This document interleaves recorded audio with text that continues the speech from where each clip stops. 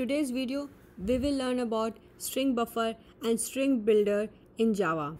In the previous videos, I have explained what is string class in Java, why string is immutable, and then I have also explained few methods and executed with examples. In this video, we will learn about string builder and string buffer. Why Java has string buffer and string builder when Java already has a string class? So the answer goes here. String in Java is immutable. You can see why it is immutable in the video. I have put the description here on the top right corner of this screen.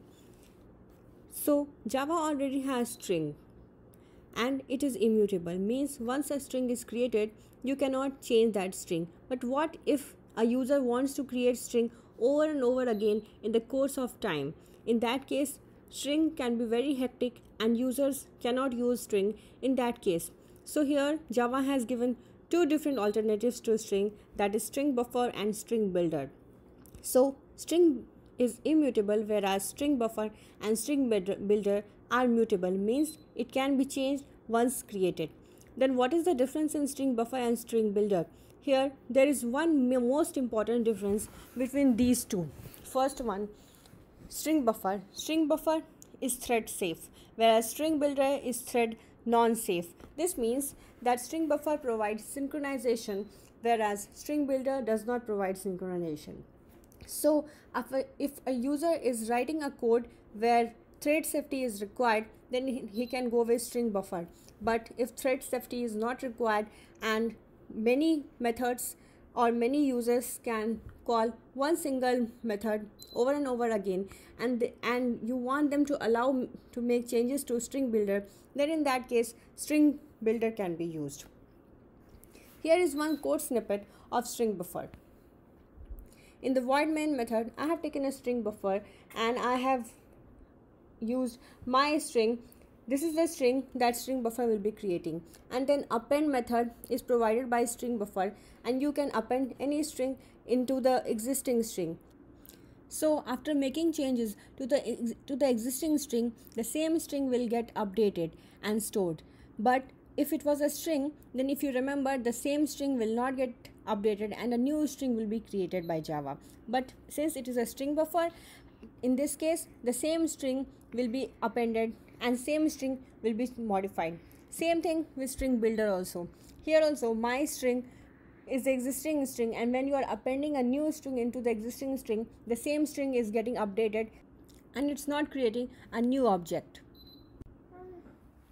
The main difference in string buffer and string builder is the thread safety whereas there is one more most important difference in these two.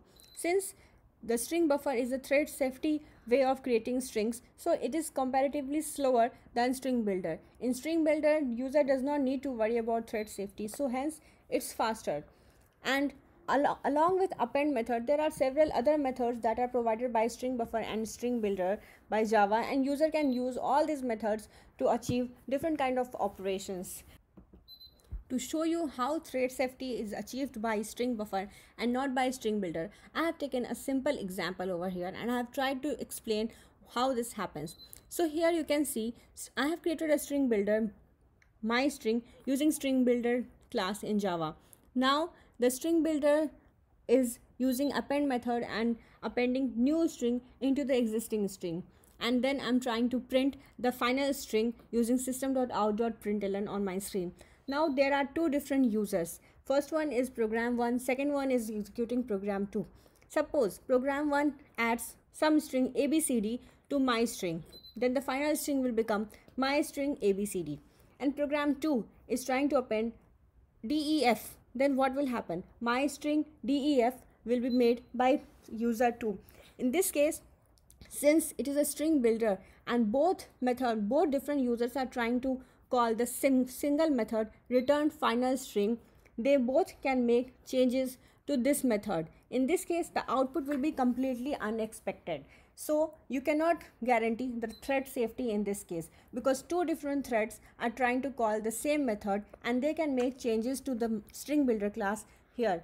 So this proves that string builder is non-thread safe now let's see the most important part of this video that is difference between string string buffer and string builder. So here i have put few points where the major difference between string string buffer and string builder occurs. First one is all the three implements serializable and character sequence interfaces but only string also implements comparable interface. The next is immutability. The first one string is immutable but string buffer and string builder both are mutable. Third is thread safety. So string is a thread safe since it is immutable and in Java every immutable object is also thread safe. So we can say that string is also thread safe. Next is string buffer. String buffer is thread safe and string builder is non-thread safe. This I explained with example just now. Next point is strings are basically not used in threaded environment. We do not use strings where the environment is threaded. But we can use string buffer in multi-threaded environment and we cannot use string builder in such kind of environment. So string builder is always used in a single threaded environment.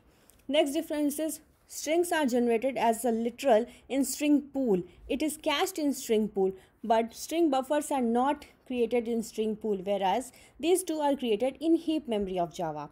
The last but not the least is the performance. String is slow String buffer is slower than string builder but faster than strings. So I hope string buffer and string, build, string builder is clearer to you by now and you know all the difference in string, string buffer and string builder. In the next videos we will go on some different examples on strings, string buffer and string builder. So stay tuned with this channel for the latest examples and updates which will help you throughout in your career and in your interviews. Please like and subscribe this channel and also share it among your friends and circle to help this channel grow. Thank you so much.